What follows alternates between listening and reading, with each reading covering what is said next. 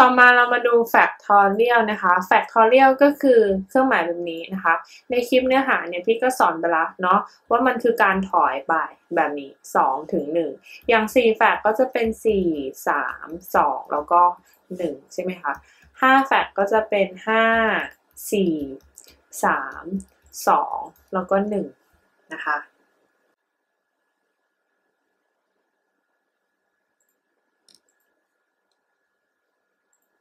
ต่อมาแบบนี้นะคะ5แฟกส่วน7แฟกนะคะ วิธีการทำเราก็จะถอยไปเรื่อยๆเนาะจนกว่ามันจะถึง 1 นะคะ อันนี้คือวิธีเต็มนะคะ แต่เมื่อเราทำโจทย์มากขึ้นนะคะ เราจะรู้ว่าเราจะต้องถอยไปแค่ไหนเนาะอะข้อแรกพี่จะถอยไปจนสุดก่อนนะคะ ตั้งแต่ตรงนี้ถึงตรงนี้จะถูกตัดออกนะคะ ตัดออกไป กับตรงนี้นะคะ เราก็จะเหลือ 1 ส่วนด้วย 7 คูณ 6 นะคะสำหรับข้อ 5 แบบนี้เรารู้ละนะคะ เราจะต้องถอยตัวมากไปหาตัวน้อยนะคะ 12 คูณ 11 คูณ 10 แฟกตัดเลยนะคะ 1 ส่วนด้วย 12 คูณ 11 ค่ะ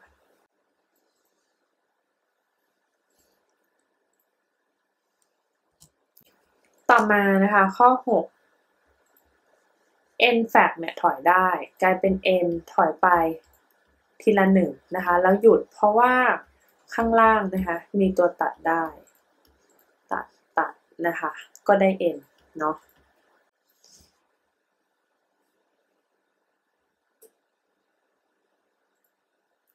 ข้อ 7 นะคะ มาดูข้อ 7 n fact เนี่ย ยกกำลังสองแปลว่ามี n fact เนี่ย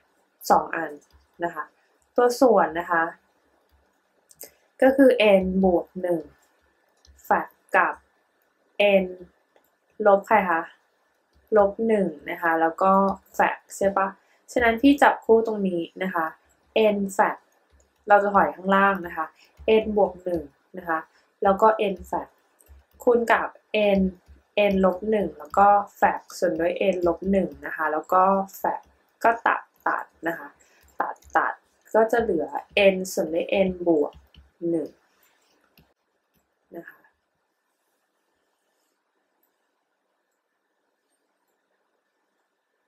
ต่อมานะคะข้อสิบ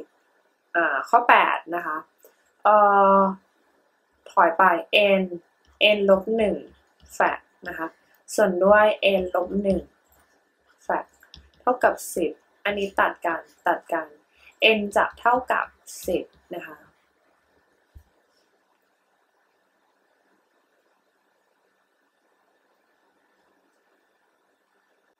มาดูข้อนี้กันบ้างนะคะ พี่ถอย n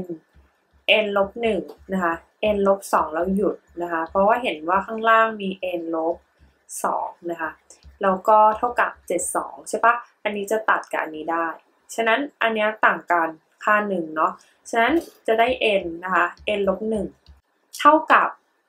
72 นะคะค่าต่างกันนะคะของ ระหว่างเลข 2 เลขที่คูณกันได้ 72 นะคะ เราก็มองเลย 72 เนี่ยเกิดจาก 9 คูณ 8 แล้ว 9 กับ 8 ต่างกัน 1 ดังนั้นตัวมากก็คือ 9 ตัวน้อยก็คือ 8 นะคะ ดังนั้น n ก็คืออะไรคะ n ก็คือ 9 นั่นเอง ใช่ไหมคะวิธีการทำแบบนี้จากบรรทัดนี้ค่ะทำได้อีกวิธีหนึ่งนะคะ ถ้าเกิดเรานึกไม่ออกจริงๆ เราก็ทำวิธีนี้ ก็คูณ n เข้าไป n กำลังสองลบ n เท่ากับ 72 n ยกกำลังสองลบ n ลบ 72 เท่ากับ 0 นะคะ แล้วก็แยกแฟกเตอร์ อ่าก็จะเป็น n n นะคะ 9 8 72 นะคะ อันนี้จะเป็นลบก็เป็นบวกนะคะ n ก็จะเป็น 9 กับลบ 8 แต่ทำไมคะ n นะคะจะต้องเป็นค่าบวกเท่านั้นเนาะเป็นลบไม่ได้ก็เท่ากันเลยนะคะจับตรงนี้กับตรงนี้เท่ากันเลยทำได้ 2 วิธีนะคะ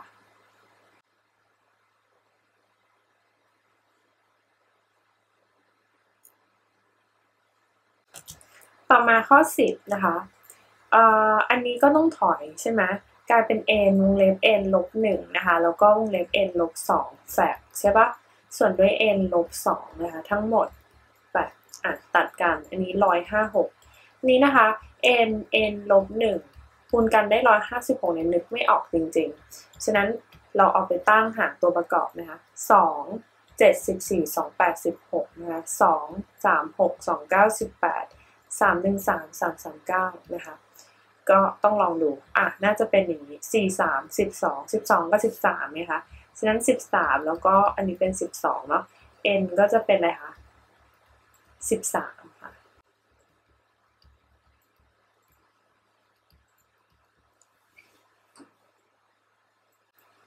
ต่อมานะคะ อันนี้เขาให้ทำอะไรเอ่ยสิบเก้าแปดนะคะเขาให้หาว่าหาย้อนกลับนะคะว่าเลขก่อนหน้านี้น่าจะเป็นอะไรนะคะน่าจะเป็นสิบแฟกส่วนด้วยเจ็ดแฟกถูกไหมคะ เพราะว่าตัดออกมาเราจะได้ตัวนี้เนาะ อะ ไปแอบคิดตรงนี้นิดนึงนะคะ อะ ก็จะเป็นอะไรคะสิบ เก้าแปดเจ็ดแฟกแล้วหยุด ถ้าเกิดตัดกับเจ็ดแฟกข้างล่าง ตรงนี้ก็จะเท่ากับเห็นไหมคะ เท่ากับโจทย์ ถูกไหม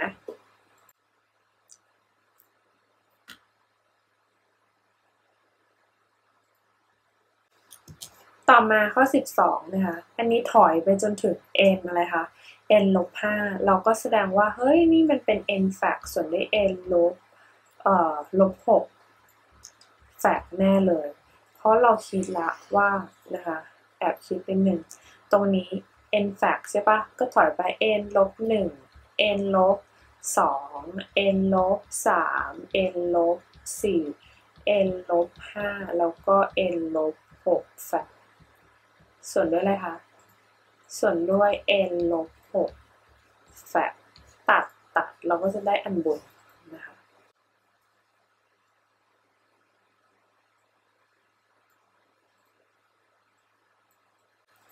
ต่อมานะคะข้อ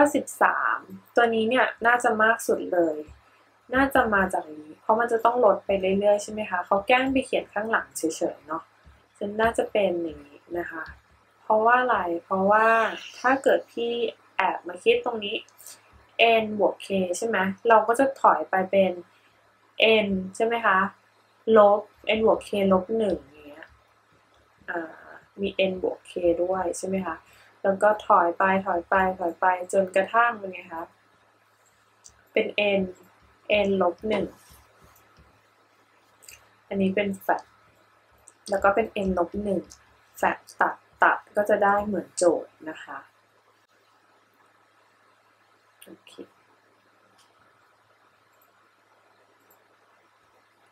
ต่อมาข้อ 14 นะคะ ข้อนี้ถอยนะคะ อันนี้ n แฟกกับ n แฟกจัดกันได้นะคะ เราก็คูณไขว้ขึ้นไปเลยนะคะพี่เอา n ลบ9แฟกส่วนด้วย n ลบ8แฟกแล้วก็8แฟกขึ้นไปนู่นนะคะ แล้ว9แฟกอยู่นี่นะคะ ฉะนั้นอันนี้อันไหนมากกว่ากันคะ ตัวล่างต้องมากกว่าตัวบน ฉะนั้นพี่ก็ถอยไปนะคะ เป็น n ลบ9แล้วหยุดที่แฟกอันนี้ก็เช่นกันนะคะ 9 8แฟก ก็ตัดตัดตัดตัดนะคะ ฉะนั้นตรงนี้พี่จะได้ 1 ส่วนด้วย n ลบ 8 เท่ากับ 1 ส่วน 9 ฉะนั้น n ลบ 8 เท่ากับ 9 นะคะ n เท่ากับ 9 บวก 8 ย้ายข้างสมการ 9 บวก 8 ก็เป็น 17 ดังนั้นนะคะ n ก็คือ 17 นั่นเอง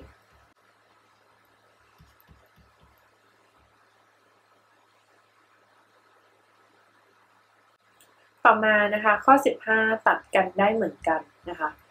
คือ n ลบ8แฟก8แฟกก็ลอกมาก่อนนะคะ1ส่วนด้วย n ลบ5แฟก5แฟกคูณไขว้เหมือนเดิมนะคะ8แฟกส่วน5แฟกอันนี้ก็จะเป็น n ลบ5แฟกส่วนด้วย n ลบ8แฟกนะคะเราก็ถอยนะคะ n ลบ5 ถูกไหมคะ n ลบ6 n ลบ7 n ลบ8แฟกส่วนด้วยค่ะ n ลบ8แฟกก็ตัดตัดนะคะ8แฟกก็ถอยได้8 7 6 5แฟกอันนี้ก็จะ5แฟกตัดกันนะคะ เราก็จะเหลือเป็นไงคะ3วงเล็บพอดี ฉะนั้น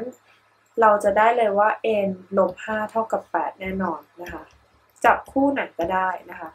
n ก็จะได้8บวก5ก็คือ 13 นะคะ ดังนั้น n คือ 13 ค่ะ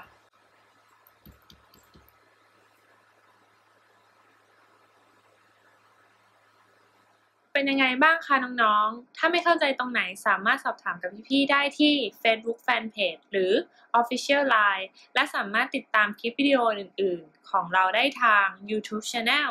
และอย่าลืมกด Subscribe กันด้วยนะคะ